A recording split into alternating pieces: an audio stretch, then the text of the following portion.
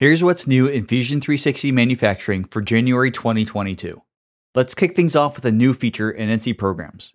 We've added a new field, file name, in addition to the program name and comment fields. This is helpful for machines that require the program name to be a number regardless of the file name.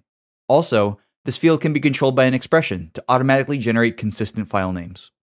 We've also got a new preview feature for editing toolpaths. Move entry positions can reposition the entry and exit points on closed contours based on a line drawn over the toolpath.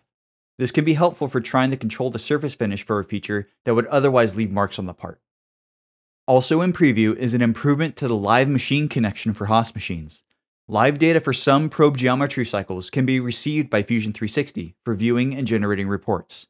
If you use probe geometry on a Haas next-gen controller, give this a try. New for additive is 3D arrange. This is a basic algorithm to stack parts using an envelope dimension. Once you've made your 3D arrange, push this data to Formlabs Preform.